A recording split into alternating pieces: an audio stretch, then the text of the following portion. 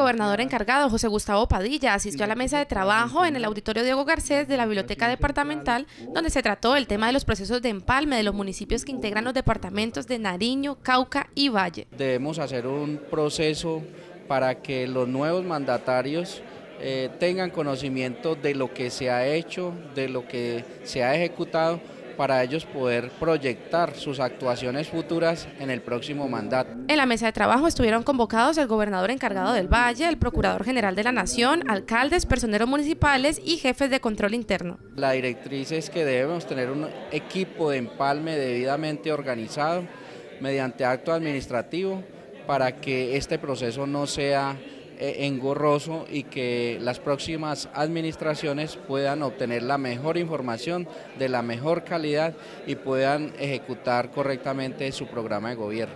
Se espera que con la preparación a los procesos de empalme se realice un fin e inicio de gobierno exitoso. En Cali se reunió el Consejo Superior de la Universidad del Valle para conocer las propuestas de los aspirantes a rector de la institución que será designado para el periodo 2015-2019. Hemos escuchado unas propuestas que apuntan a la regionalización de la universidad, a la descentralización administrativa y a la internacionalización también de esta alma mater tan importante para la región. Eh, fueron propuestas muy constructivas que apuntan a mejorar eh, lo que hasta ahora se ha venido haciendo el proceso de renovación de la Universidad del Valle.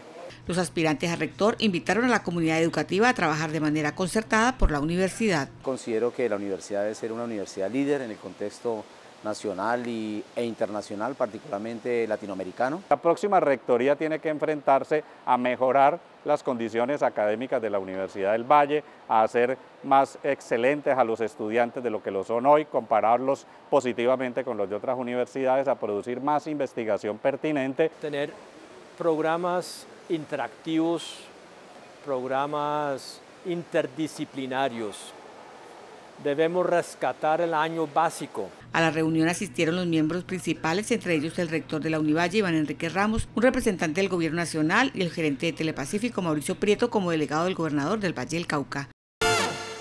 El gobierno del Valle implementará la ventanilla única de registro con el fin de brindar mayor comodidad al ciudadano y agilizar el tiempo en el trámite de los documentos. Iniciar esta primera etapa de la ventanilla única de registro como herramienta de supresión de trámites, que además de para el Departamento del Valle, para la unidad de rentas, además de ser una herramienta muy importante de supresión de trámites de cara a la ciudadanía y de cara a la empresa, también es importante para la unidad de rentas y especialmente para el recaudo del impuesto de, de registro, esa, esa, herramienta para la transparencia. Esta es una estrategia implementada por el Gobierno del Valle en el marco de la modernización de sus servicios. Es un mecanismo que lo que busca agilizar es la prestación del servicio, facilitándole a los usuarios el pago del impuesto de anotación. Los usuarios que van a liquidar eh, su impuesto por concepto de boleta fiscal ya no van a tener que acercarse a la gobernación del valle a hacerlo de manera presencial, sino que lo pueden hacer de manera virtual desde cualquier notaría del Departamento del Valle. A través de la ventanilla única de registro, el trámite de documentos se realizará en su totalidad en las notarías.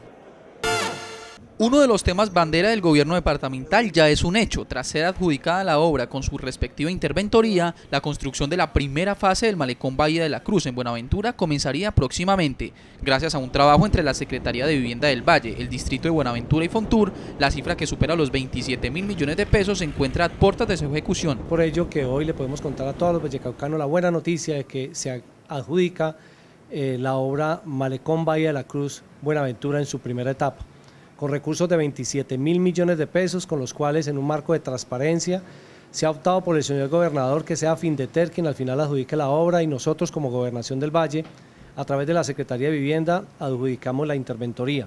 El financiamiento del malecón de Buenaventura consta de 15 mil millones que aportó el departamento, 7 mil millones el distrito de Buenaventura y 5 mil millones que aportó el Fondo Nacional de Turismo Fontur. Dentro del marco de las políticas y compromisos del señor gobernador dentro de su programa de gobierno, está el de promover la infraestructura social, pero también la infraestructura turística. Hoy, la empresa, una empresa bogotana, un consorcio llamado Valle, eh, de la Cruz Buenaventura Fase 1, se le ha adjudicado esa obra por parte de Findeter con todo el acompañamiento de la Gobernación del Valle y su equipo técnico de la Secretaría de Vivienda y la interventoría también le fue adjudicada a una empresa vallecaucana llamada DIC Consultoría. Se espera que en las próximas semanas la Gobernación del Valle del Cauca, la Secretaría de Vivienda Departamental y los demás actores que hicieron posible la construcción de esta primera fase den apertura oficial a la ejecución de esta mega obra que ratifica al departamento como una región próspera y en constante desarrollo.